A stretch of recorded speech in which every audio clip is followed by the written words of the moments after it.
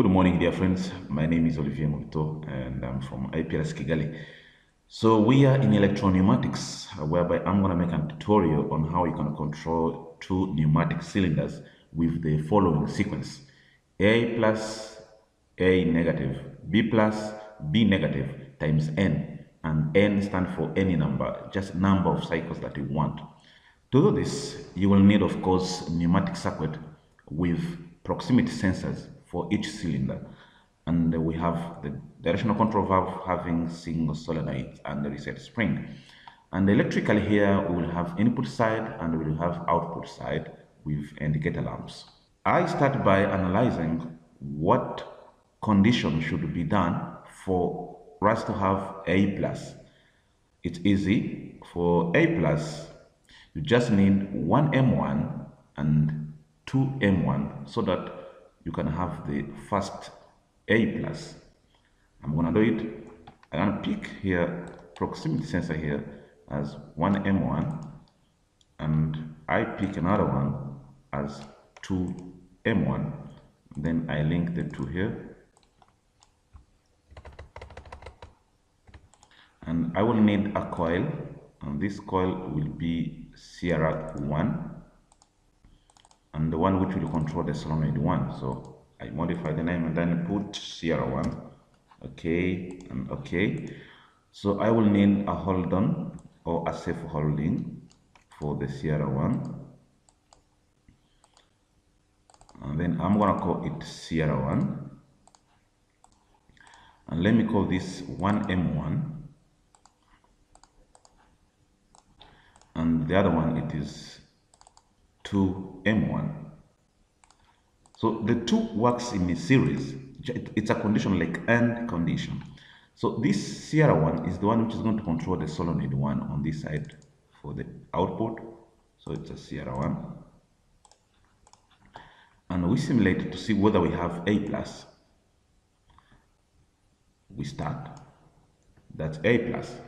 It's done with A plus. So what we want is A negative so in order to have A negative we're just going to break here. We are going to break here and you see here this is information to break there. 1m2 since the piston is here so 1m2 is going to be used to break here and uh, we're going to use another line. I take another CR and I'm gonna call it CR 2 and it is the one which is going to break. CR 2 would need information from 1M2 and I'm gonna call it 1M2 here. Then I link the two. And it will need a self-holding.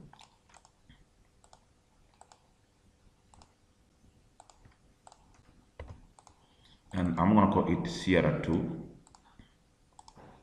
then the CR 2 will be connected here and the normal close for CR 2 is the one which is going to break here. So I put normal close contact for CR 2 so that it's going to break CR 2 here. Okay okay we close. And let's see whether we have a negative. We start A plus and A negative. So it's time to think the condition on B plus. So in order to have B plus we're going to analyze the same way we did here but this time it is going to be 1M1 and an open contact for CR2. this time it is not an proximity sensor but it is an open contact for CR2. as you can see here it is already closed which means it will be closed even if the two will be in a series so we do it quickly again we will need the two here we will need an open the contact okay? And this is 1m1 1m1 and this is CR 2 and this is a coil and this time is CR 3 so CR 3 we link the two and uh, we will need a self-holding okay the self-holding and we call it CR 3 okay okay.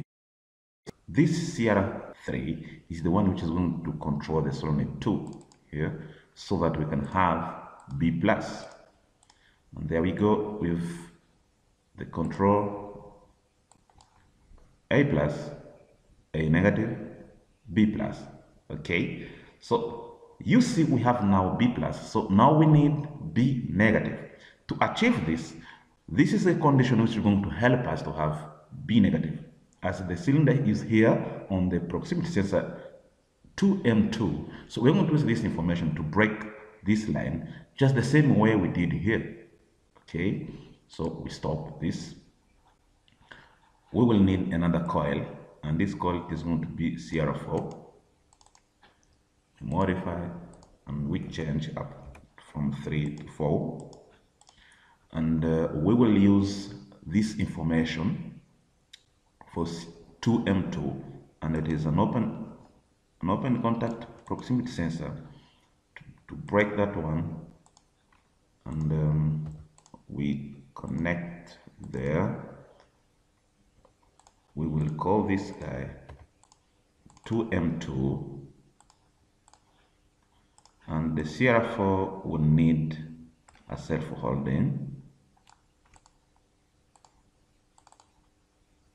okay. And we call it CR4 then this CR4 is going to break here. So we use a normally closed contact for CR4 to break this line. There we go. That CR4 so let's see whether we have B negative we start A plus A negative B plus B negative.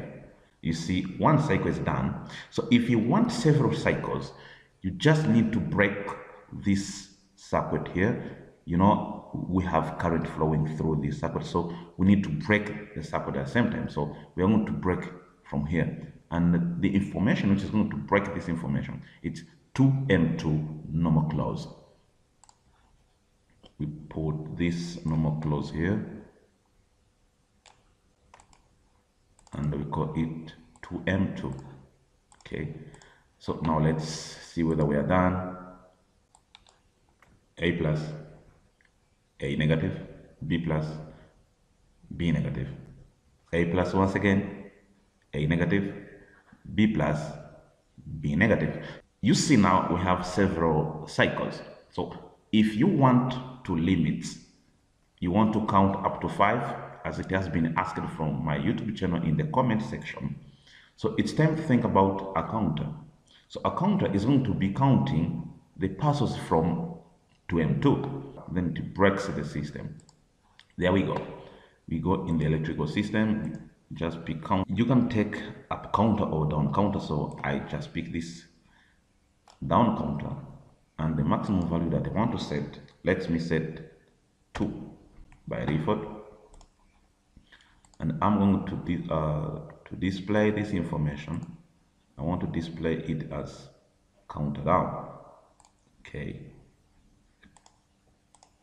just like this okay it's counted down and I will need a coil this call is going to be uh, CR5 CR5 and the CR5 is going to be the to be examining the output from from this counter. So a counter will be counting the information from 2M2 here. I'm going to push just a little bit here, just like this, okay? And this information is going to be taken from here. Then the counter will need a reset. So I can pay this guy here up to here, and I'm gonna call it reset.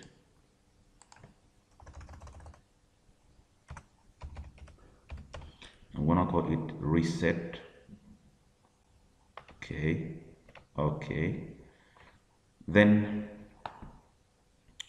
I'll use this information to reset the counter then the output for CR5 is going to be breaking here or here, it depends, or both, why not? So we can break this line here, and then we call it CR5. If you want, you can even break the same time here, CR5, there's no problem. And uh, we'll now to count to see what we have. Let's say 1,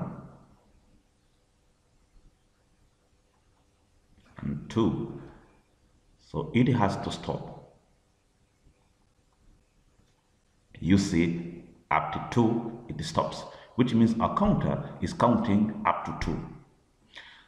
Then, if you want to start once again, you have to press on the press. Otherwise, if you press start, there is nothing will, will happen because we have the output unless you reset it.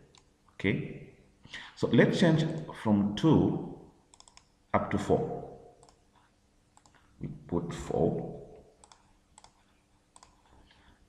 And then uh, we are going to make sure that at 2 we stop so that we can continue that first cycle. 2. Let me stop from here to see what comes out. I stop from here. You know, the counter is still memorizing that in 4 it has completed only two cycles. So when we start once again, the counter will allow the system to continue the remaining two cycles. You know, this is the third one. And this is the fourth one. And then we have to stop. See, it breaks the circuit. So if now you start again, nothing will happen because the four required was completed. So we have now to reset the counter. So if you want to, to prevent resetting several times, you can take another contact. You put it here, then you link it with CR5 so that when the system completed the required number of cycles, it resets itself. Otherwise, when you stop in in the middle, like in, at two cycles, you will have to reset manually. But when it has completed the system, you will it will be resetting automatically.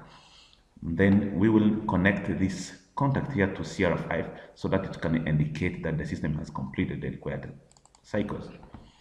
That's CR5. And here, this is well, learning. Of course, and the CR5 will be closing the contact for flashing coil and flashing coil will be closing here for indicator lamps for flashing. After completing the required number of cycles, this indicator lamp will show that we are done. Let's start with, um, I want to change up to three. Okay. All right. We simulate once again. You see here we, are, we have in standby mode, this lamp is going, is blowing showing that we are in standby mode. If we start the cycle, it has to complete three cycles. This is the first ending, the second one, and the last one is going to start A plus, A minus, B plus, B minus. You see the pilot lamps turns on. So uh, let me change the system to 5 as it has been requested from this comment section. That's 5. Again, we go A plus, A minus, B plus, B minus, A plus, A minus, B plus, B minus. And this will continue up to 5 and then after 5 it will have to stop and the pilot lamp showing that it has been completed will turn on. For further videos, please subscribe, share and like for what you are watching. Hope to see you soon. Goodbye.